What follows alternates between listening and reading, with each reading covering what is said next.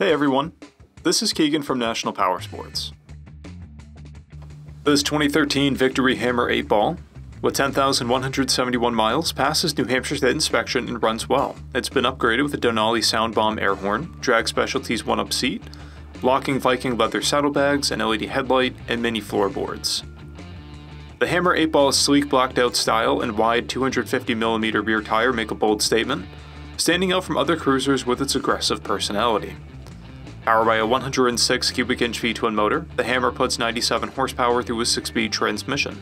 It has a 26 inch seat height and weighs in at 672 pounds.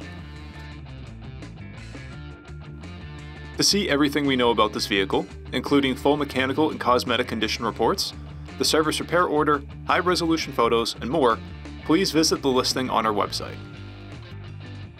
We have also purchased the CycleCheck's Vehicle History Report. You can view this report by clicking the link on the right side of the video.